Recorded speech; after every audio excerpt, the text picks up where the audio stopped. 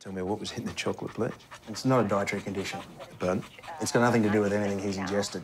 Vanilla bean. Uh, uh, hang on a tick. I'd say it's viral, but I'm more concerned by what I'm feeling. Does Roman have trouble moving around? Yeah, sure. He's uh, he's a lazy sod. Could be an issue with his bones. Not uncommon in the breed. We'll get some x-rays. You have pet insurance? Rio. 07. That Italian guy who snaked you on the final turn. What was his name? Fratelli.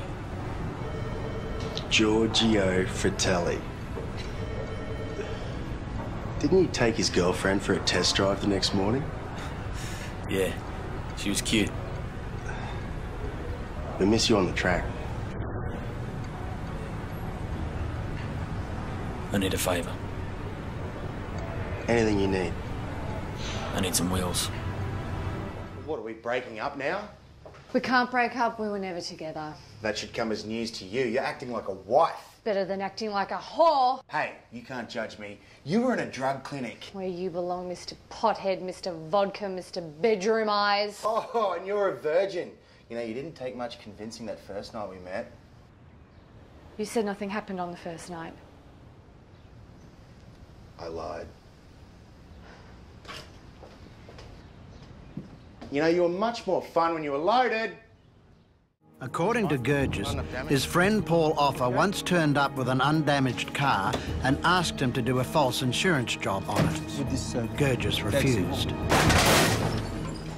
Is that banged up enough for you Are you fucking crazy? What have you done to Is my that shop? damaged enough now for Take you? Now out here. detectives want to know if there's enough bad blood between these former friends for Offer to have carried out the crossbow attack. And I'm going to report you to the police.